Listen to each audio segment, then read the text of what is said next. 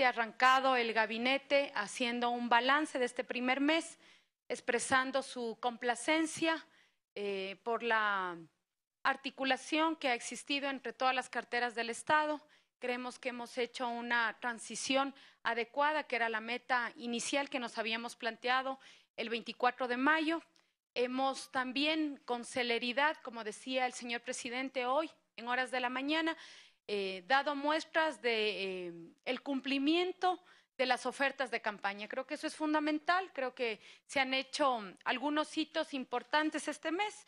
Yo podría resumir de la siguiente manera. El presidente prometió una cirugía mayor a los temas de corrupción, impulsar los temas de transparencia. En esa medida lanzó como una de, de las primeras medidas el Frente de Transparencia y Anticorrupción. Hemos logrado también concretar esta semana dos hitos importantes. El primero, el lanzamiento al Gran Diálogo Nacional. El presidente insistió durante su campaña que las medidas que acompañen a su gobierno serán eh, a partir de los criterios de los ciudadanos y ciudadanas. Y tal como lo dijo en la ciudad de Guayaquil el día martes y el día de ayer en Carondelet, esas sugerencias serán valoradas por él como presidente de la República y quien tome las decisiones será él.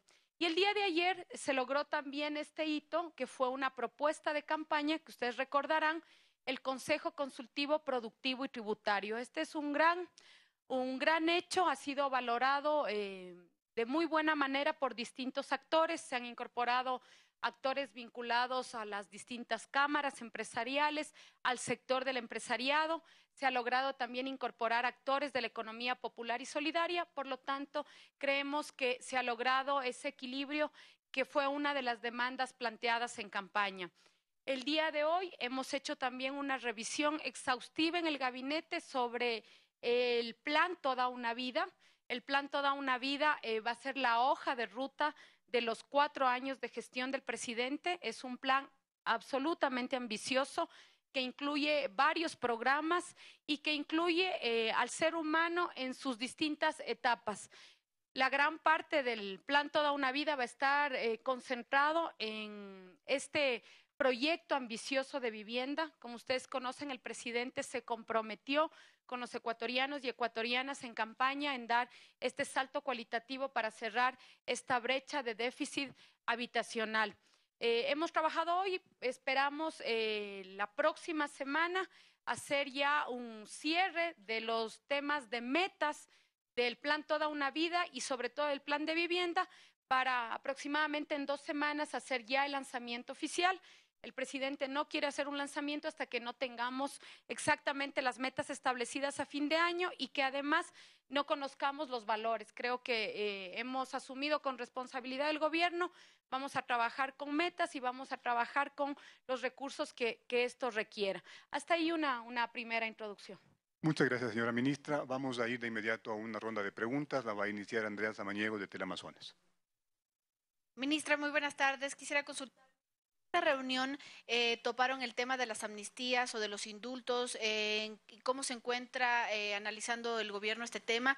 Y una segunda pregunta, nada más quería saber su opinión frente a la designación de Alexis Mera como parte de este organismo de la OEA llamado, no recuerdo el nombre, pero CEJA es de justicia, y sobre todo porque hay muchos fundaciones, organismos de derechos humanos que están en contra de esta postulación. Muy amable, gracias. Pregunta adicional más. A ver, eh, vamos primero, Patricio Tenabundá. Patricio Carrera de El Telégrafo, por favor. Sí, ministra, también para ah, una opinión suya acerca, eh, estos 30 días también han sido muy activos por parte del expresidente de la República, Rafael Correa, quien ha criticado ciertas actividades eh, que están tomándose eh, en, este, en este gobierno. ¿Se está marcando distancia con el gobierno anterior? ¿Se hacen caso de las sugerencias del expresidente? ¿Cómo van a actuar en este sentido, por favor? Una más. Eh, ya, perfecto. Con eh, Miguel eh, Molina de la hora, la siguiente pregunta también. ministra, buenas tardes. dos preguntas.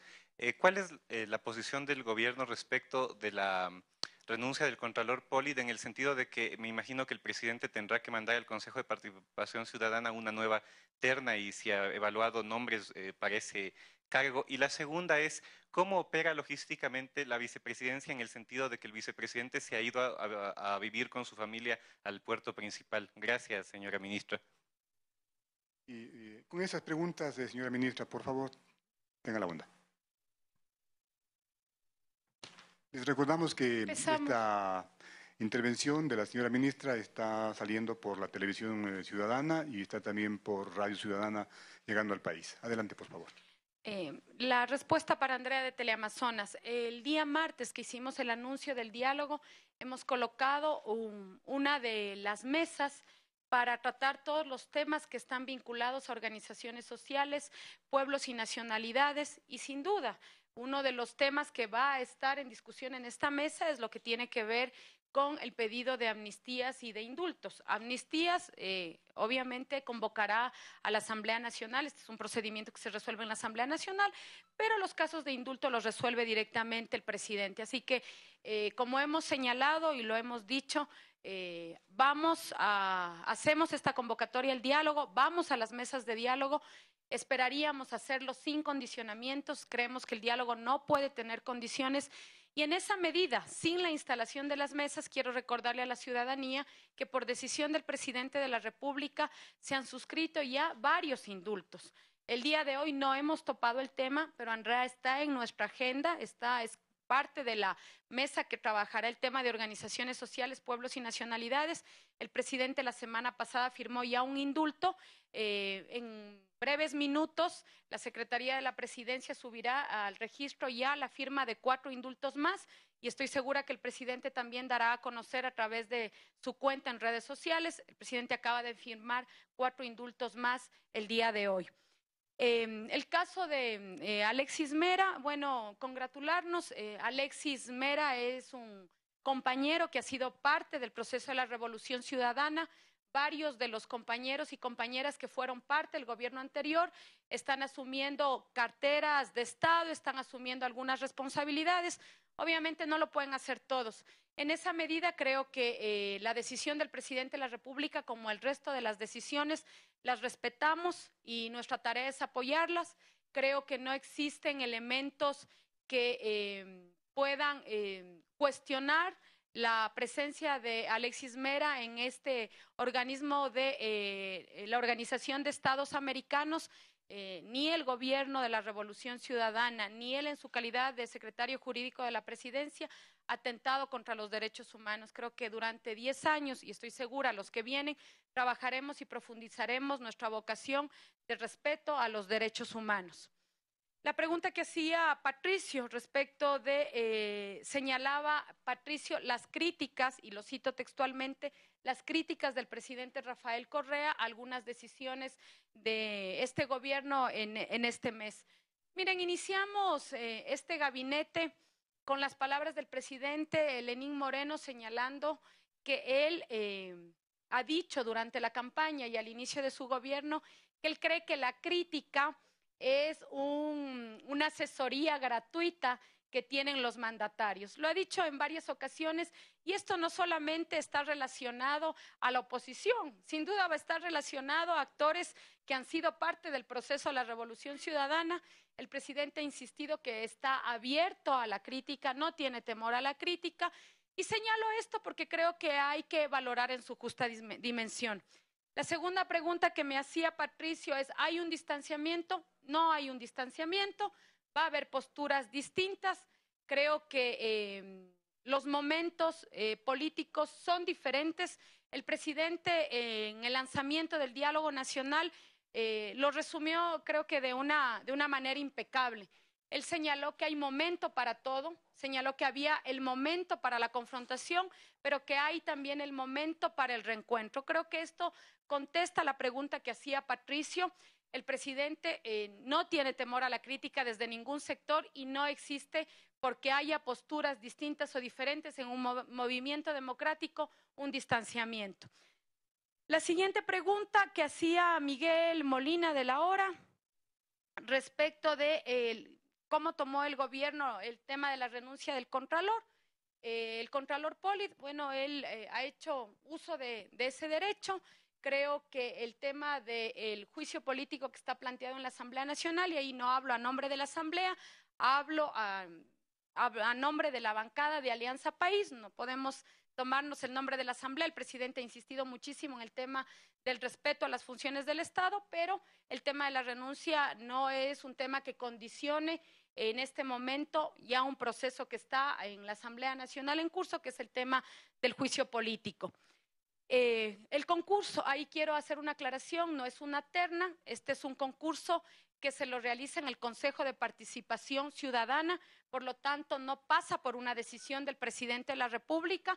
Eh, una vez hecha la renuncia, quien tiene que dar trámite y tiene que responder y tiene que establecer los plazos del concurso es el Consejo de Participación Ciudadana, no es el Ejecutivo.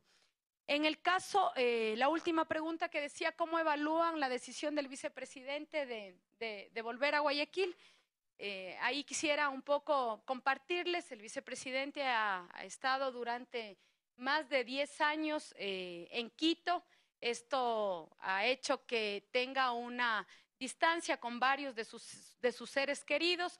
De igual manera, su esposa, por lo tanto, han tomado la decisión. Es una decisión absolutamente personal, no es una decisión que pase por temas de Estado o por temas de gobierno, pero creo que en cierta medida permite tener una complementariedad el presidente Lenín Moreno haciendo base en Carondelet, haciendo base en el Distrito Metropolitano de Quito y el vicepresidente de la República haciendo base en Guayaquil. Creo, que esto nos permite ya en temas de gestión del gobierno tener a los dos principales eh, actuando en las dos ciudades que sin duda son ciudades muy importantes para el desarrollo del país. Muchísimas gracias. Eh, quisiéramos consultarle tal vez una pregunta adicional que nos han formulado ahorita uno de los medios, si es tan amable. Con gusto. Adelante, Juan. Dos más. Es, Juan eh, Carlos de Coavisa. Gracias, eh, ministra. Quería simplemente que nos precise un poco más detalles sobre los cuatro indultos, eh, de qué casos son, si es que ya están firmados o se van a firmar y cuándo ya se conocerían más detalles de estos decretos sobre los indultos. Gracias, ministra. Nada más, por favor. Juan, en efecto, le señalaba, van a subirse ya en un en minutos en la página de la presidencia, ya están firmados, son cuatro casos más, no soy la persona indicada, esto lo está tratando directamente eh, la ministra de Justicia y eh, el presidente de la República, suelo ser respetuosa, pero para no dejarles con la, inquietud, ya acaba de firmar el presidente cuatro indultos más hace algunos minutos y son los casos que están vinculados también al eh, señor Mesa, que son el tema de Pastaza. Por lo tanto, ya conocerán ustedes los nombres de las personas que acaban de recibir del presidente de la República el indulto. Muchísimas gracias. Gracias a todos, a todos. Gracias a la ministra de la Política que ha estado con nosotros ha estado aquí con nosotros en este pronunciamiento para los medios de comunicación y por supuesto que estamos llevando a ustedes a través de Tele Ciudadana y estas fueron las palabras de la secretaria de la Política, Paola Pavón, quien indicó que se han cumplido los objetivos planteados para este primer mes de gobierno. También señaló que el plan Toda una vida va a ser el eje de los cuatro años del gobierno del presidente de la República, Lenín Moreno. También dijo que se espera que en dos semanas más sea el lanzamiento oficial del programa Toda una vida. Amigos, amigas televidentes, de esta manera llegamos a la parte final de esta transmisión especial. Más detalles en nuestras emisiones eh, a las 19 horas. Que tengan una excelente tarde. Hasta pronto.